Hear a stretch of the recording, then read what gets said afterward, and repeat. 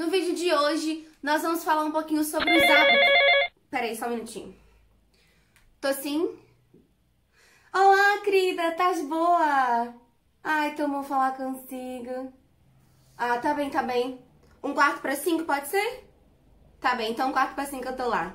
Tá bem, até já, até já. Tá bem, tá bem, até já. Com licença, até logo, com licença, com licença.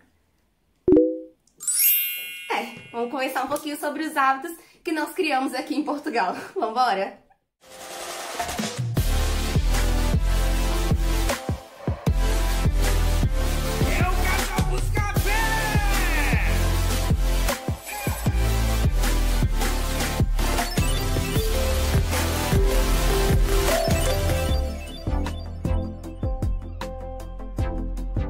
Fala família Buscapé, tudo bom com vocês? Bom, iniciei o vídeo aí com uma brincadeira para vocês perceberem que nós aqui em Portugal adquirimos alguns hábitos que nós, no nosso dia a dia acabam é, sendo tão naturais assim que a gente nem percebe que a gente está fazendo alguma coisa que a gente nunca fez antes. E hoje eu separei aqui algumas questões pra gente falar um pouquinho e pra você do Brasil já ir já acostumando com essas coisas que é de certeza que você vai chegar aqui e vai criar esse hábito também. Mas antes de tudo, já chega deixando seu like, curtindo, comentando e compartilhando, que é super importante pro pessoal vir aqui fazer parte, integrar, né, a nossa família Buscapé aqui no YouTube. Não se esquece de correr também lá no nosso Instagram, é arroba casalbuscapé. Bom, sem mais delongas, vocês já viram aí pelo início do vídeo que é muito costume, é muito natural a gente atender o telefone depois de um certo tempo aqui em Portugal, dizendo tô, ou uh, estou, ou sabe? A gente já não diz mais alô, é, eu nem lembro mais quais eram as expressões que eu usava no Brasil, mas acho que a mais famosa era alô. E aqui a gente já assim, ó, não Uh, uh, já não diz alô aqui pra nada. A gente sempre diz tô, independente se você tá falando com outro brasileiro no telefone ou até mesmo com um português, é sempre tô. Eu já acostumei, a gente vai fazer quatro anos aqui. E a gente já, isso já tá assim, ó, rotineiro no nosso dia a dia. E sem contar que eu disse aí na, na no nosso início de, do vídeo várias outras frases que é muito comum a gente dizer aqui em Portugal. Por exemplo, não sei se vocês sabem, mas aqui é muito comum a gente dizer quando falta 15 minutos para alguma hora, a gente dizer que falta um quarto de hora. Por exemplo, eu marquei com a minha amiga no início de se encontrar com ela um quarto para as 5, ou seja, às 4 e 45 da tarde. É muito comum. No começo você fica meio assim, meio fazendo conta, meio não sabendo assim o que, que tá acontecendo, que horas que vai ser o negócio. Mas depois você acostuma. Um quarto para 5, um, 5 e um quarto, e, e aí por diante é muito comum. E a outra coisa que eu queria falar com vocês que é muito comum aqui em Portugal e quando você chegar vai ser a primeira coisa que você vai sentir logo assim que você for ao mercado é ter a chave desse jeito. Minha gente, isso aqui não é nem um terço do que a gente tem na carteira, ainda ficam mais alguns. Aqui na minha chave tem alguns que vocês podem perceber. Então é muito comum você criar esse hábito aqui de ter esses cartãozinhos de desconto. E, gente, é sério, é muito importante você ter. Eu, por exemplo, já deixei de comprar alguma coisa porque esqueci o cartãozinho em casa e aí não ia ter o tal desconto, então deixei para comprar depois para voltar com o cartãozinho. É muito comum você já chega no mercado, pede para fazer o cartão, obviamente, já com seus documentos iniciais, e você vai lá fazer o cartãozinho de desconto e já tem direito aos descontos do mercado. Inclusive, a gente sempre fala muito das compras aqui do mês, dos descontos absurdos e bons que a gente ganha, é tudo por causa dos cartõezinhos. Bom, e a outra coisa é que a gente cria esse hábito também, é um hábito muito bom, também nesse lado do mercado. Eu até trouxe aqui para mostrar para vocês são essas famosas sacolas retornáveis, tá? Elas vêm com essas alças aqui, são muito boas essas sacolas, são enormes. Eu tenho assim, ó, um arsenal. Nosso porta-malas do carro é lotado. Quem já viu vídeos de compra sabe como é, porque eu sou a louca das sacolas. Eu amo as estampas. No Brasil, tem essas sacolas, tá? Não tô dizendo que não tem, não é um hábito que nós temos no Brasil de tê-las, mas tem no Brasil. Uh, no Brasil a gente ganha muito aquelas sacolas uh, que não são pagas, que são descartáveis, né? Eu, inclusive, quando morava no Brasil, que ia fazer a compra do mês, eu nem comprava sacola de lixo, porque eu sempre usava aquelas sacolas para deitar o lixo fora, porque era, né, vinha muito assim na compra do mês, cada, cada uh, item via, sei lá, duas sacolas daquela e era muito. E aqui em Portugal, não. Se você quer uma sacola daquela branca normal, você tem que pagar 10 cêntimos. Em alguns, alguns lugares é até um pouquinho mais mas você vai pagar 10 cêntimos. É óbvio que é uma sacola um pouquinho mais reforçada, você consegue utilizar ela depois, são aquelas biodegradáveis, uma coisa assim, mas é muito comum você comprar dessas aqui. No mercado, elas giram em torno de 50 a 60 cêntimos cada uma, e você fica aí com ela pro resto da vida. Eu mesma tenho um monte desde quando eu cheguei em Portugal, Uh, e eu sempre tenho no carro uma e é comum a gente ir no mercado já com várias delas ou dentro do carrinho ou embaixo do braço. Ou caso a gente vá no mercado esque e tenha esquecido a sacola, a gente sai do mercado com as coisas tudo na mão. Como acho que tem até o último vlog que a gente foi no Lido comprar algumas coisas e a gente saiu do mercado com as coisas tudo na mão, porque nós esquecemos de levar sacola. Comprar sacola daquelas brancas não é mais comum aqui pra nós. É uma, um hábito que a gente criou e tá levando assim pro resto da vida. E apesar de que é um hábito muito bom. E já também falando sobre supermer supermercados, deixa eu falar certo, visto o Thiago dali me dá um cascudo, uh, é o hábito de comprar vinhos, gente. Os vinhos daqui são muito bons, é, são diferentes dos vinhos do Brasil, obviamente, e são muito baratos. A gente encontra vinhos de um euro, um euro e qualquer coisa. Então é muito comum vocês irem em algumas casas e verem aquelas cristaleiras, inclusive é o meu sonho ter uma cristaleira cheia de vinho de tudo quanto é tipo. Eu tenho ali uma mini bancada que tem alguns tipos diferentezinhos, mas ela ainda tá faltando alguns. Se você quer saber como é que é essa mini bancada, corre lá no Instagram, que esses dias eu bem postei lá uma foto, que é o lugar da minha árvore de Natal, eu tirei, já voltei pra lá minhas birita. É, então é muito comum a gente ir no mercado e às vezes sempre trazer um vinhozinho, porque é barato e é gostoso.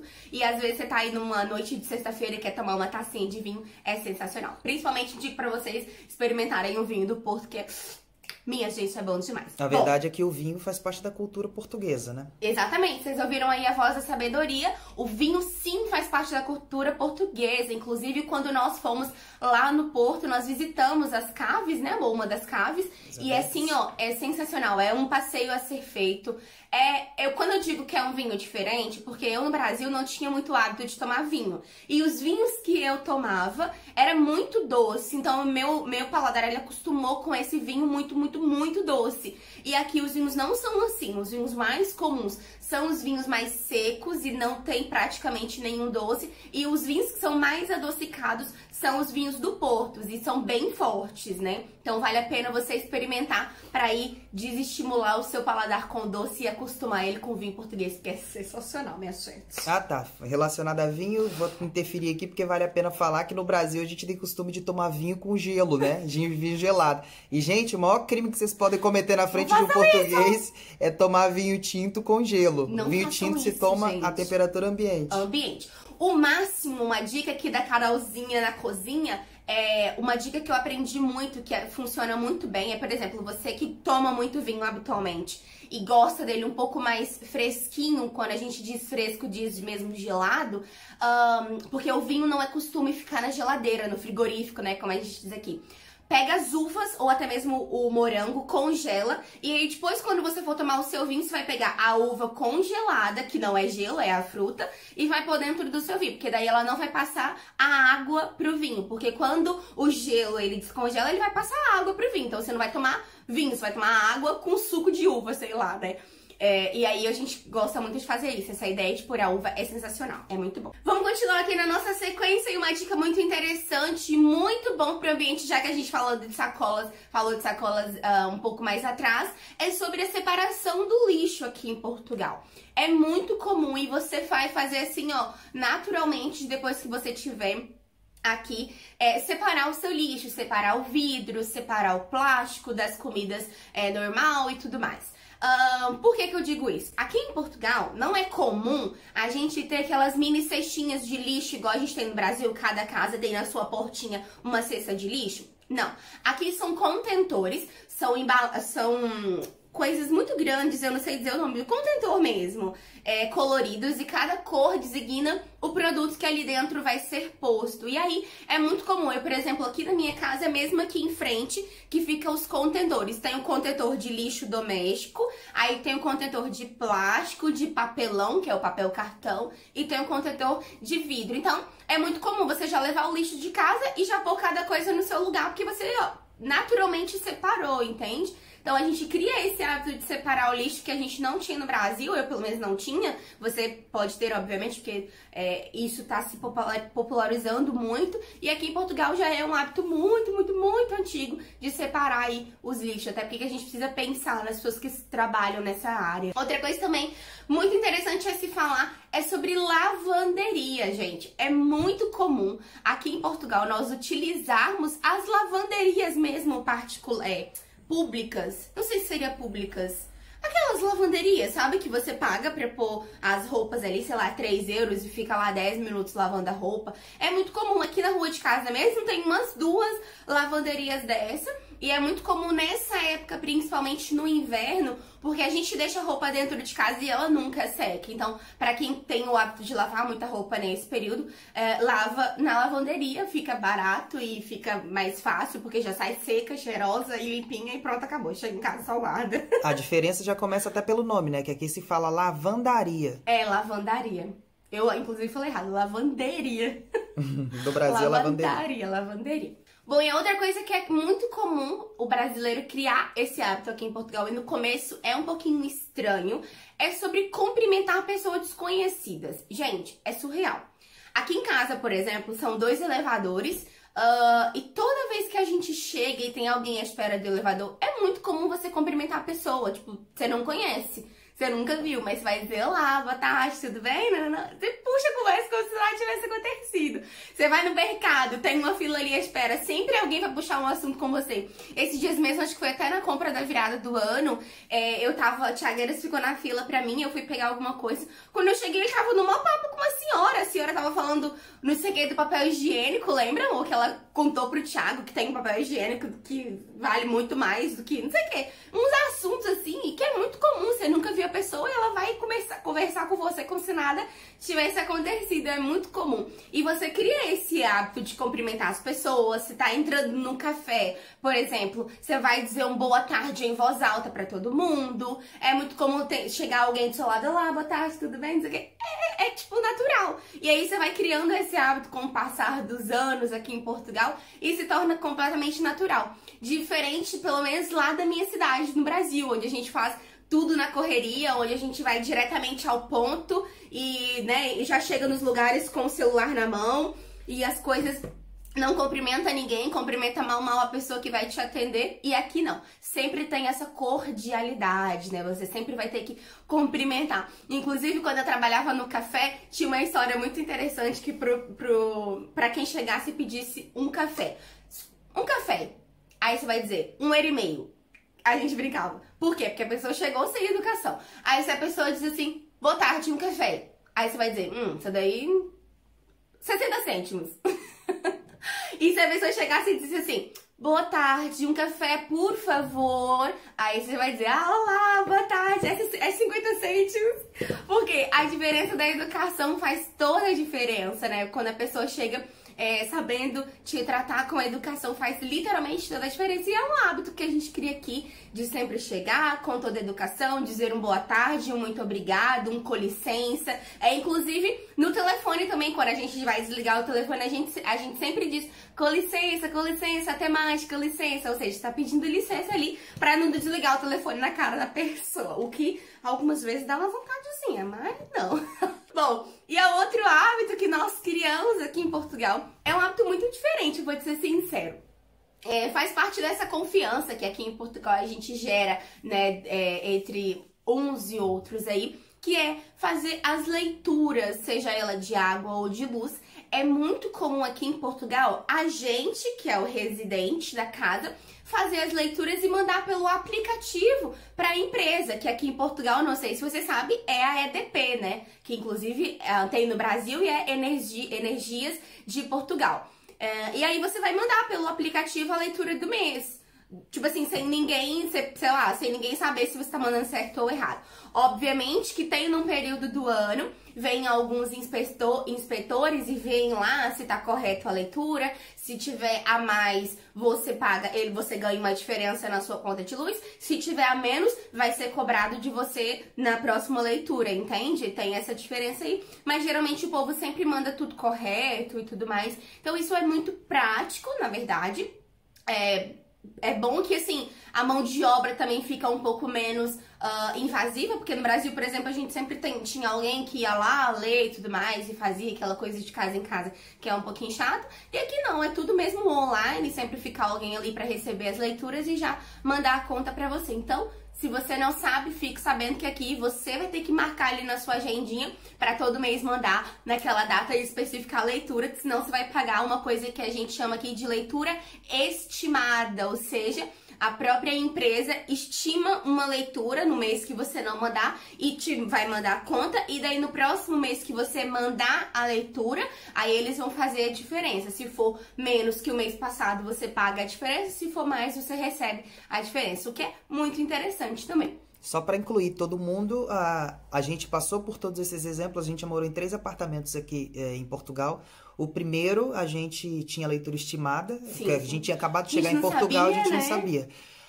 O último apartamento que a gente morou lá na Lourinhã, a gente, eu mandava pelo aplicativo. Todo mês. Mandava todo Até mês. Até o dia 10, não era, amor? Sim. E aqui em casa, atualmente, a gente não precisa fazer leitura e a leitura não é estimada, porque o nosso contador... É elétrico. É, é a própria EDP tem, tem, tem acesso à nossa contagem Exato. eletronicamente. É, não é, não é muito comum, porque vai depender muito do apartamento onde você mora, né? Então, vamos supor... Se a ligação é mais recente, Exato, mais isso que eu ia falar. Porque aqui, quando nós nos mudamos, nós fomos na EDP e pedimos a ligação, né? Porque para tirar do antigo morador e passar para nós. E eles vieram aqui na nossa casa e instalaram um novo contador. E daí já é o novo contador, o tal elétrico, que não precisa uh, mandar Eletrônico. a leitura. Eletrônico, né? Eletrônico.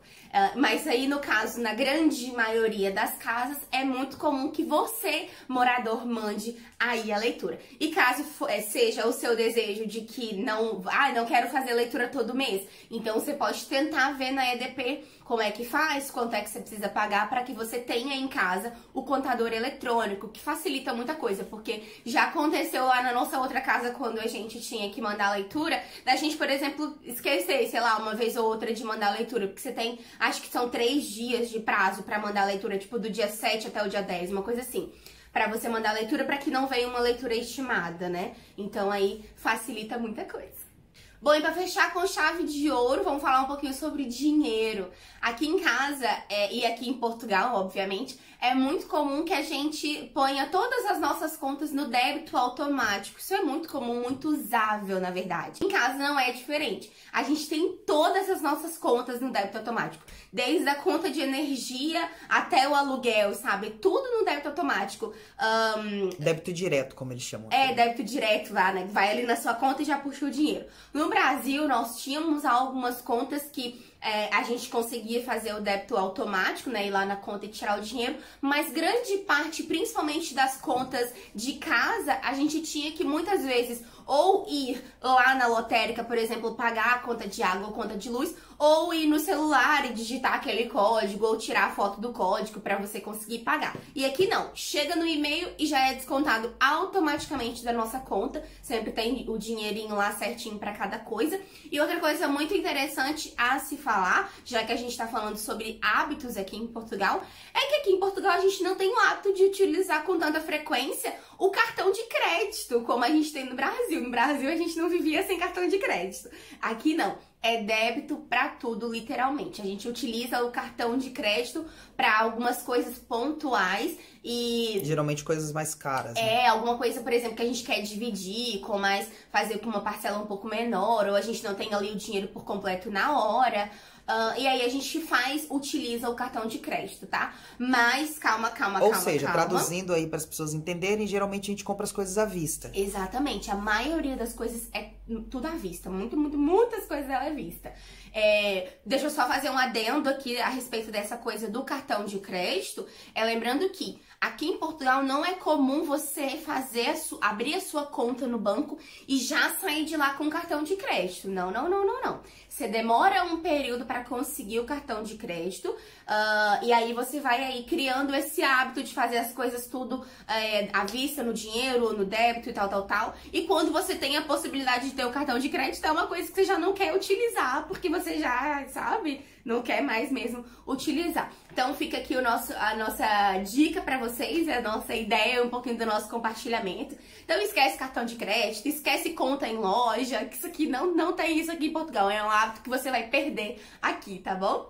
Bom, é isso, mas antes de tudo eu queria te lembrar que esses são os hábitos do casal Piscapé. Foram os hábitos, alguns deles, obviamente, porque em quatro anos a gente criou 50 milhões de hábitos aqui, esqueceu alguns ruins e criamos alguns novos aqui, mas esses são os nossos hábitos. Tem muita gente que criaram outros hábitos, tem muita gente que nunca nem vai pensar em criar esses hábitos. Enfim, cada um na sua realidade aí, tá bom, gente? A gente aqui é uma comunidade, cada um tem o direito de ter o seu livre arbítrio. Então, não se esquece, você que tem algum hábito diferente aqui desses que a gente comentou aqui no vídeo de hoje, comenta aqui embaixo qual foi o hábito que você mais criou, que mais te deixou assim perplexo, uma coisa que você nunca pensou em fazer, mas que você teve que começar a fazer aqui em Portugal. Comenta aqui embaixo. E você que ainda não está aqui em Portugal, comenta aqui qual desses você mais gostou e você tem certeza que você vai começar a fazer ainda estando aí no Brasil, tá bom? Não esquece de seu curtir, que é super importante pro nosso canal, ajuda a divulgar os nossos vídeos. Não esquece também de compartilhar, o que é super importante também pro nosso canal. Eu fico por aqui, a gente se encontra aqui amanhã no nosso próximo vídeo do Casal dos Café, porque aqui tem vídeo todos os dias. Um beijo, fiquem com Deus e até o próximo vídeo. Tchau!